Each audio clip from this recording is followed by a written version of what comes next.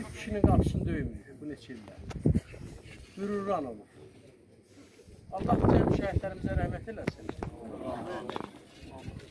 Ananın tək Şakir oğlu döyüşmür. Şakirdən əlavə Xalif Məlikə döyüşüb, Rövşən də döyüşüb. Yəni bir evdən üç oğul döyüşüb. Onun üçü də bir gündə şəhid ola bilərdi. Mən rəhmətliyi hospitalda tanıdım, gəlmişdi yanıma. Getdik iki dənə, yəni 50 minlik edir də Nizami. Başların altına qoydu. Nəysə çox söhbət elədik. Çıxanda mən bunu yola salmalıyam. Amma deyəmirəm mən səni tanımıram. Olan müddətlər olmamışdı. Mən olan müddətdə e, rəhmətli rast- rastlaşmamışdım. Sonra mən maraqlandım ki, bu spesiallı komandirovdur.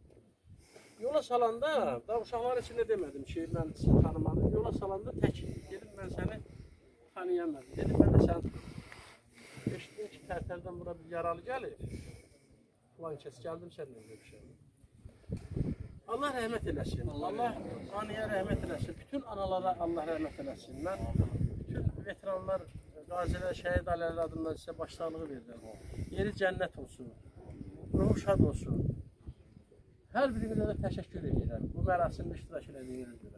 Çox sağ olun. Allah rəhmət eləsin. Allah axirətin versin. Allah tələmizə cəlal hörmətinə, öz mərhəməti xatirinə, cəmiyyət şəhidlərimizə rəhmət eləsin. Yəni e, bayaq dedim, təbii ki, hər bir mərasimin özünə məxsus bir qanunu var. Bir qəhrəman anası dünyasını dəyişir və burada duranların hər bir kəsin anasıdır, əzizidir. Allah öz birliyi xatirinə, öz mərhəməti xatirinə mərhumə ananı inşallah bu dünyadan edib axirətdə e, yəni gözəl bir məqamda eləsin. Çünki şəhid anasıdır. Mən inanıram ki, bizim şəhid anamız şəhidlərlə bu gün görüşür. Bu gün evladı ilə görüşür. Bu gün neçə illər həsrətində olduğu şəhid evladı ilə görüşür. Allah öz birliyi xatirinə, inşallah o şəhidlərə xatir mərhumənin günahlarından keçsin. Çünki yenə deyirəm, Bəyək Suruddin müəllim dedi, yəni hər e, ana qəhrəman evlad dünyaya gətirməz. Bu günləri bizim həqiqətən Azərbaycan xanımların hamısı bu gün 44 gün müharibədə də özlərini göstərdilər ki, o qəhrəman evladlara qələbə çaldı. Allah dövlətimizi də qorusun, dövlətçiliyimizi də qorusun. Yəni həqiqətən Tərtər rayonunda şəhidlərə, şəhid ailələrinə böyük diqqət var.